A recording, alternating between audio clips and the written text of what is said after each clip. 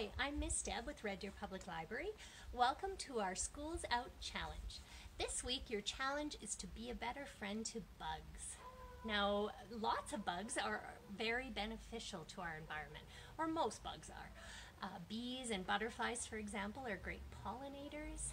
And then there's ants and there's worms in our soil that help aerate it. We call them little mini rototillers.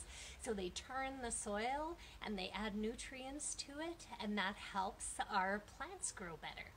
There are ladybugs that eat aphids and other bugs that are damaging to crops. So they're another important bug.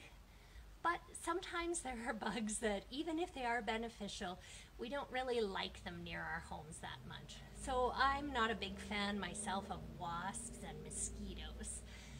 But there are ways to try to keep those away and to help uh, out the good bugs, or the bugs we do like to have near our homes, without doing any harm to them. And one way to do that is by using plants. So there are some plants out there that certain bugs don't like the smell of. One example is mint. So I've planted some mint in one of my garden boxes.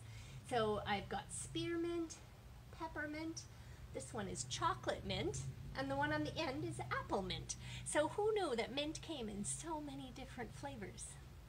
And it has a smell that wasps and ants and spiders and even flies don't really like. So they tend to stay away from these kinds of plants. So they're a really good choice near your home. The other beautiful thing about these herbs is that they will flower later in the season. So in summer and in early fall, they're going to flower and that is an attractant for bees. So you're keeping away bugs you don't want, but you're actually encouraging bees to come, which is great. So it's a great food for bees later in the season. Another plant that is a similar choice or herb is basil, so I've got some in this planter. And I also chose to put some flowers in this one. And these on the end are marigolds. And marigolds tend to give off a smell that wasps are not big fans of. So they're also a good choice to help keep wasps away. Now some of you may not have a flower bed or a, a garden that you can plant these plants in. So I've brought a couple of choices you could make your own out of recycled containers. And one option is a milk carton. And this one, I've just cut off the top and we made a little bunny face on it just for fun. Another way you can do your milk carton is to turn it, turn it on its side. So it would be similar shape to this box and put your plants in that way. So in the bottom, I've put some rocks and that will help with drainage. And then I will put soil and then I'll put my plant inside.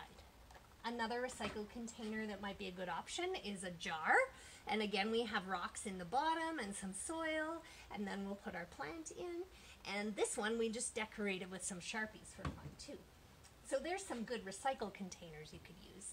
And the last thing I want to mention, one more way to make our yards a little bit more bug friendly is to cut our grass a little bit less often, believe it or not. If we let it grow a little bit longer, it gives it a little more shelter and makes it a little bit safer place for some of those bugs.